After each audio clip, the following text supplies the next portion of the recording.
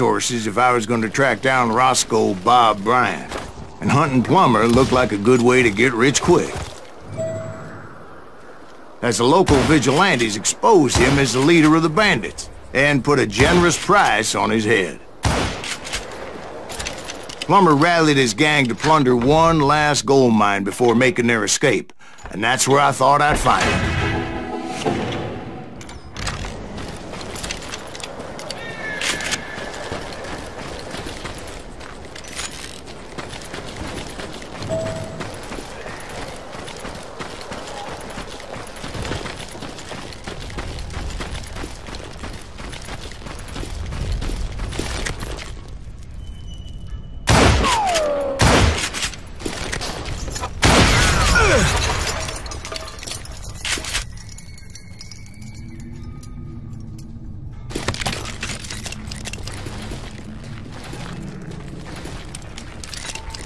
Makes me nervous standing so close to all these goddamn barrels of gunpowder. Why would you be nervous?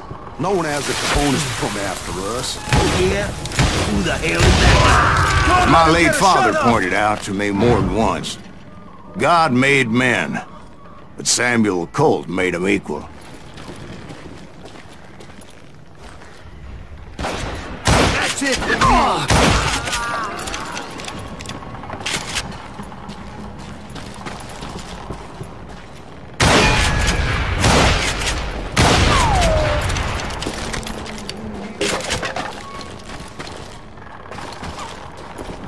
I knew that dynamite wasn't mine, so I decided the polite thing would be to return it.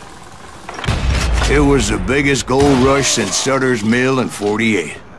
Unfortunately, prospectors weren't the only ones drawn to those riches.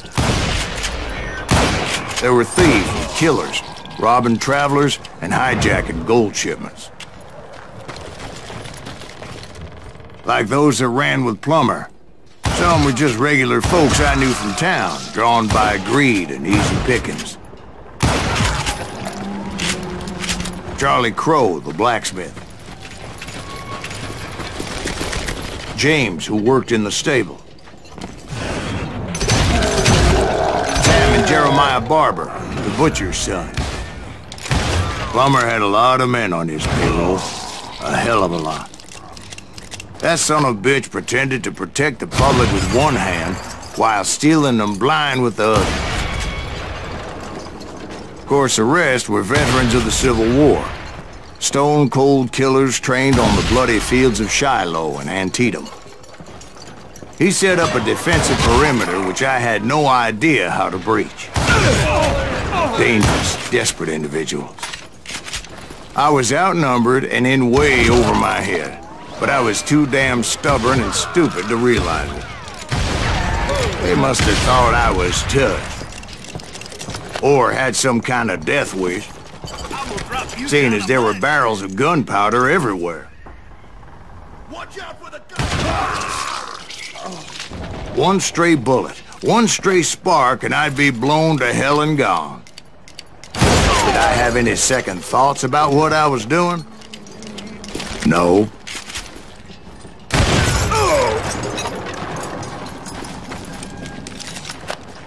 I thought I was some kind of hero.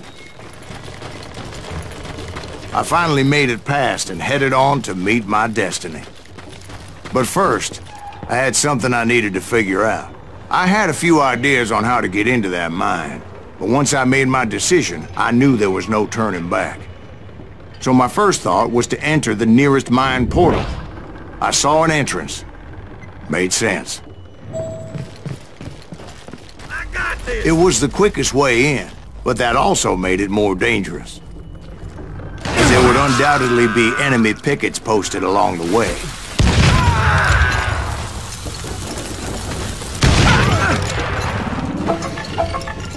Get out here!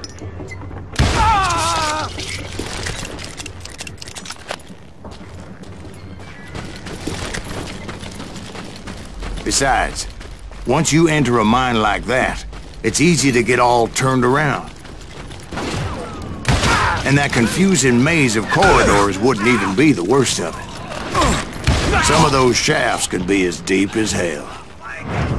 A single stumble or misstep can easily end in a deadly plunge to oblivion.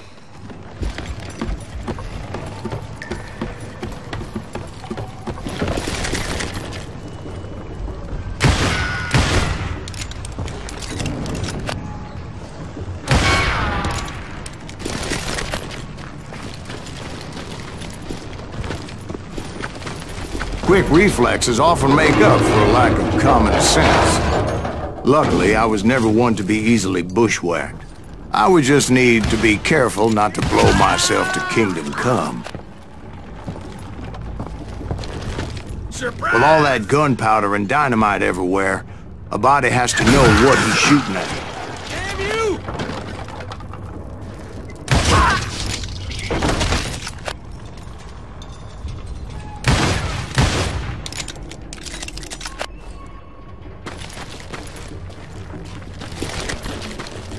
One wrong bullet could have turned that mine into a dad-blasted tomb.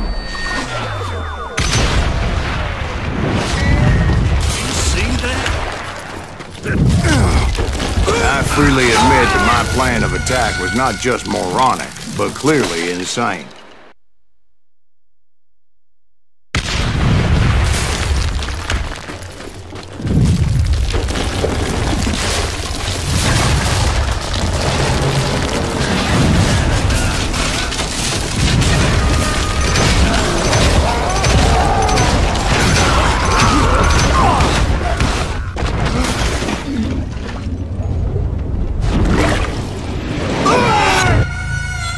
It's a good thing that I abandoned that ridiculous plan before I even tried it.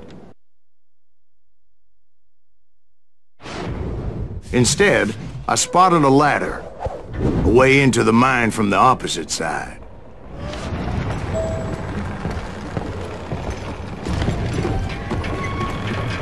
It was a long way around, but that approach seemed more sensible at the time. Of course, being I had a problem with heights, that scaffolding scared the bejesus out of me. Climbing down that ladder required some caution. Because even though I had a younger man's reflexes, no man can dodge a damn bullet while climbing down a rickety ladder. I needed to make a leap of faith. Which ain't easy when you're suspended between heaven and hell. I was determined not to give up, however. As Sheriff Plummer seemed quite the despicable character. When the vigilantes discovered what the sheriff was up to, people were outraged. That 10,000 they put on his head would go a long way to helping me find old Bob. And I had made it my mission to settle that score come hell or high water. Show yourself!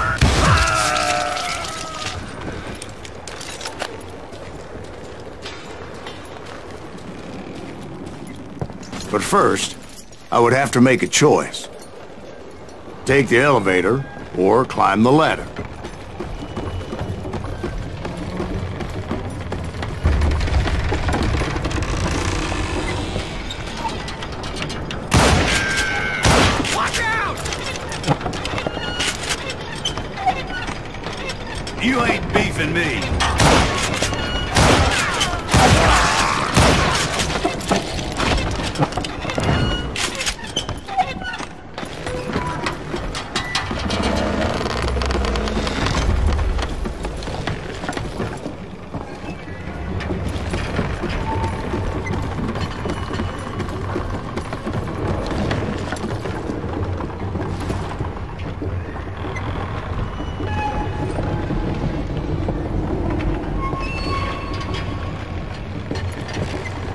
Plummer was a mad dog killer, and the people of Nevada City deserved better. Nevada City? Well, I thought Plummer met his maker in Bannack, Montana. Right, well, he was the sheriff of both places at one time or another, but that's neither here nor there.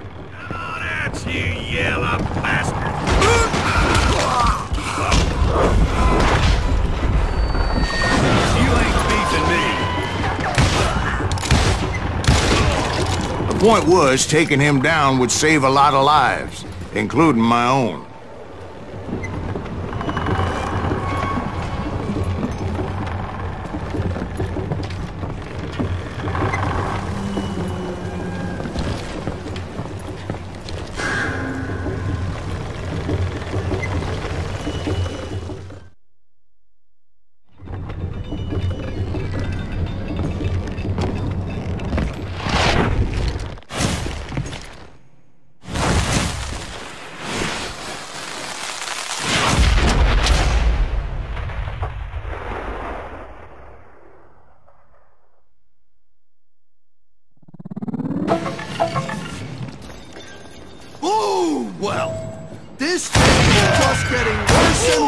You.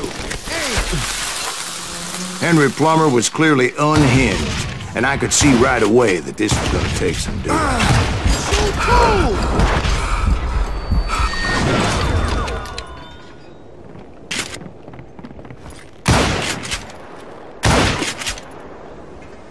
Lucky shot! No blood money for you today!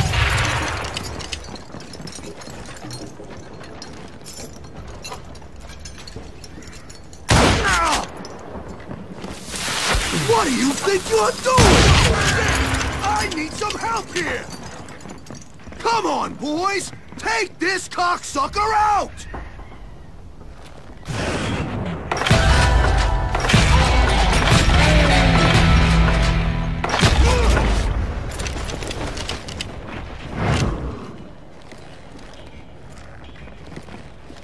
They're gonna bury you in a million pieces!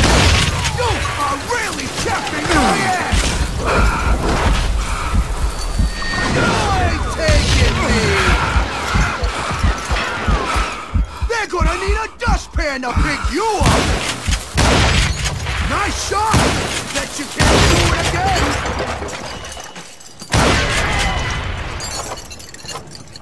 I'm going all medieval on your ass! You want some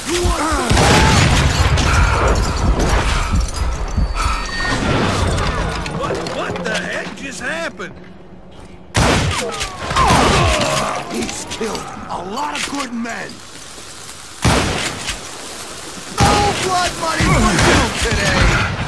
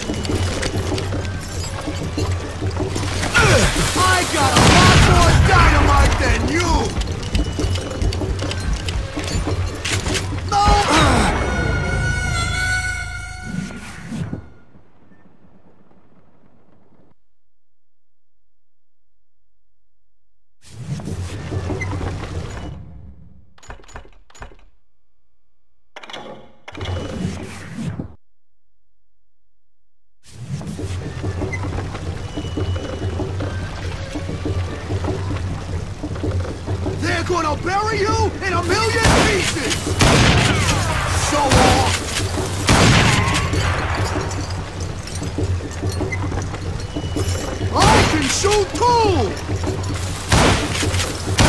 Why don't you just join the? Why not just give up and die?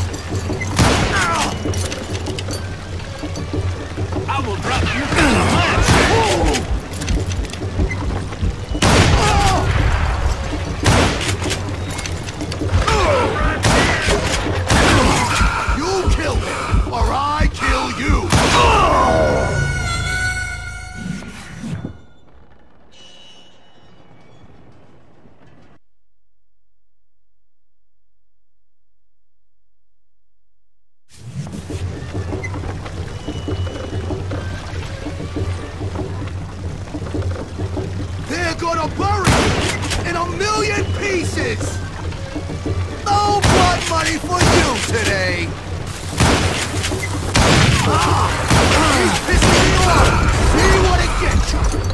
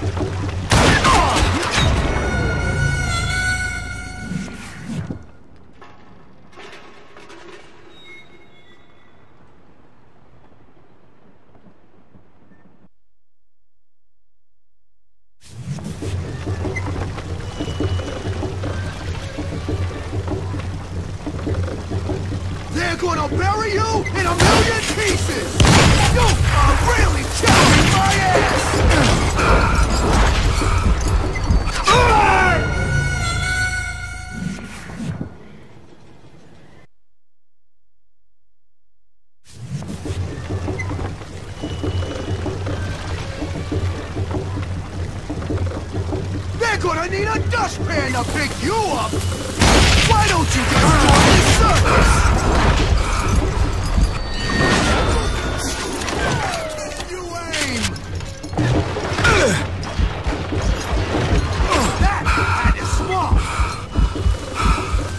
You ain't taking me! Nice shot! Bet you can't do it again!